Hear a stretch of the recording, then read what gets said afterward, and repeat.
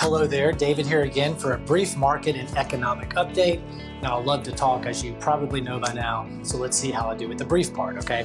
Now, quick recap 2018 was the worst year for the major market indices in a decade.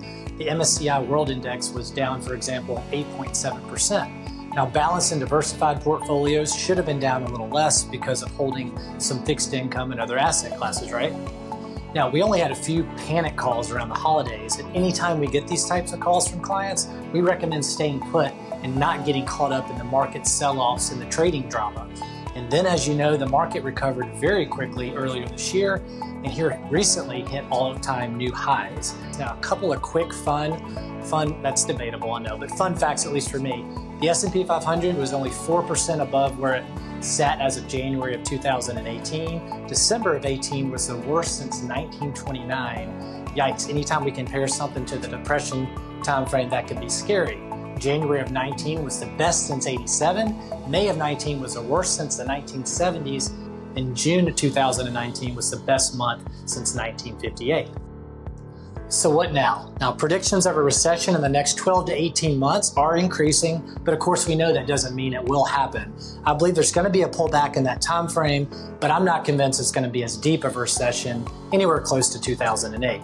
Now the good news is that companies are still growing, although as I believed earlier this year, growth is slowing, but it's not stalling. Big difference.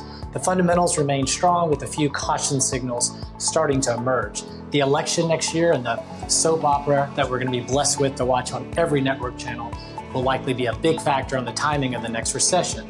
So, will Trump stay in office and continue with the pro business policies that could keep this bull running? And if so, will he remain stable and calm, lower his Twitter posts, and keep the rest of the world happy? I'll digress there.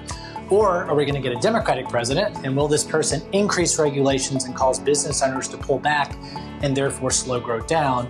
Or will they be more of a centrist and excite the markets and economy? All this TBD, right? But these things, along with Trump working on various trade deals and the Fed looking at rate reductions versus the increases last year, are already being priced into this record level market, in my opinion. So, our investment committee continues to make small shifts to quality stocks over high growth in this late stage of the bull market and revisiting our fixed income holdings to identify the best rates we can get without taking unnecessary risk for our clients. So, as always, I'll say this turn off the TV unless it's a good show that's not economy related, and spend time with your loved ones and focus on experiences and memories over the things that you can't control. We love what we do, and my entire team is always here to help.